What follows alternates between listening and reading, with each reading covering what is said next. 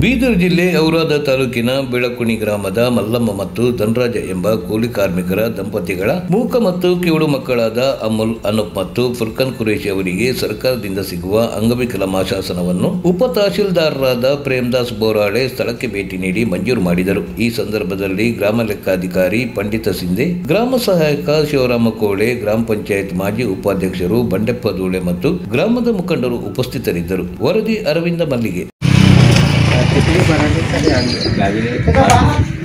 ಏನ್ ಹೆಸರು दूर से ले दूर से पीछे ಇಲ್ಲಿ ಬಂದ್ ಕದ ಬಾ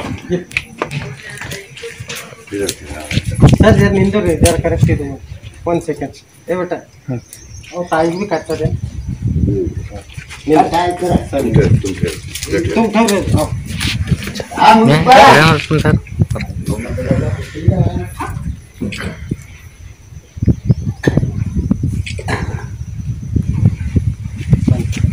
ಜಲ್ದಿ ಸಂಜೆ ಮತ್ತೆ ಸ್ಮೋಕ ಮೂಗು ಕೊಂಡು ಹಾಪು ಯಾನ್ಗೆ ಹಾಪಿಲ್ಲ ಹೆಂಗೆ ಕಾಣ್ತಲ್ಲ ಓಡಾಡ್ತಾ ಇದ್ದು ಚಂದೆ ಕಾಣು ಹಂಗೆ ಮಾತು ಬರಲ್ಲ ಏನಿಲ್ಲ ಎಟ್ಗೆ ಹೊಡಿ ಕೈ ಮಾಡೋದು ಕೇಳ್ತಾವಲತ್ತೀರಿ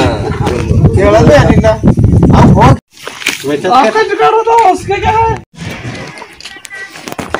हाँ देखो हाँ तो मामा